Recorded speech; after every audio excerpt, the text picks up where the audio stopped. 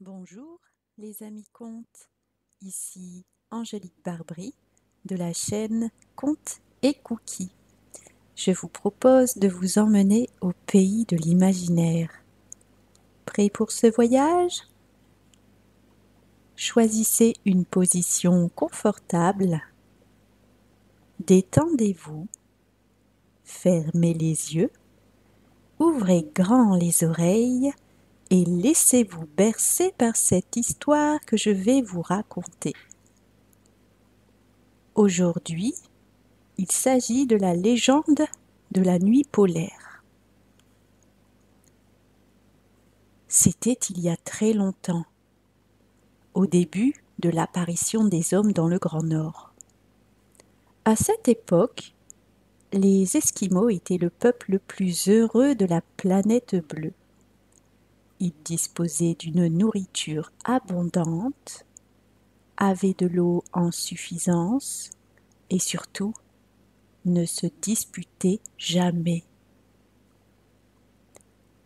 Le jour, ils jouissaient de la lumière du soleil et durant la nuit, ils profitaient de la clarté de la lune.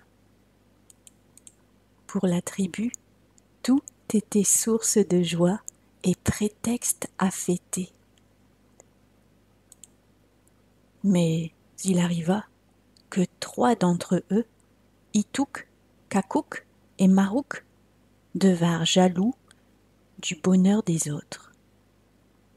Ils essayaient par tous les moyens de se quereller avec les membres de la tribu, mais sans succès. Ils décidèrent donc de s'attaquer à l'astre du jour de toutes choses afin de le tuer. Ils souhaitaient ainsi que leurs compagnons soient privés de chaleur et de lumière, que la vie devienne difficile et que tous soient malheureux. Ils préparèrent leur attaque avec le plus grand soin. Des flèches et harpons qu'ils projetèrent dans le ciel en plein midi. Au jour dit, ils lancèrent leurs armes vers le soleil, mais en vain. Tout ce qui était envoyé vers le ciel retombait sur la terre, brûlé par les rayons du soleil. Nullement découragés, ils entreprirent de refroidir le soleil en lui envoyant d'énormes blocs de glace. Mais le résultat ne furent pas plus brillants. La glace fondait et retomber sur les attaquants.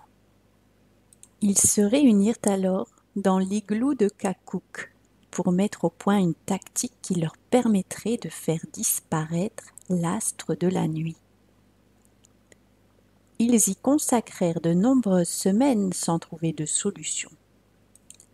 Un soir qu'ils avaient beaucoup bu, ils regardèrent la lune et commencèrent à se moquer d'elle en l'injuriant.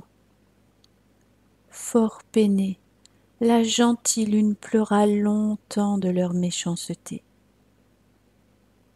Et voyant que leurs insultes portaient, Ituk, Maruk et Kakuk redoublèrent leurs attaques pendant des jours et des jours. La lune en eut assez. Elle confia son malheur au soleil qui décida d'intervenir. Ce que les trois Esquimaux ignoraient, c'est que la lune était la sœur du soleil et qu'ils se voyaient deux fois par jour. Il s'adressa tout d'abord à eux pour leur demander de cesser leurs attaques.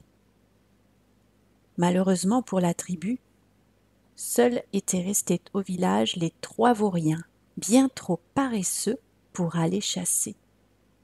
Ils n'écoutèrent pas l'appel du soleil, et ils lui rirent même au nez. Alors il se fâcha et décida de leur donner une bonne leçon dont tous se souviendraient. Il disparaîtrait du ciel des Esquimaux six mois par an pour ne revenir que six mois plus tard. Et c'est ainsi qu'apparut la nuit polaire.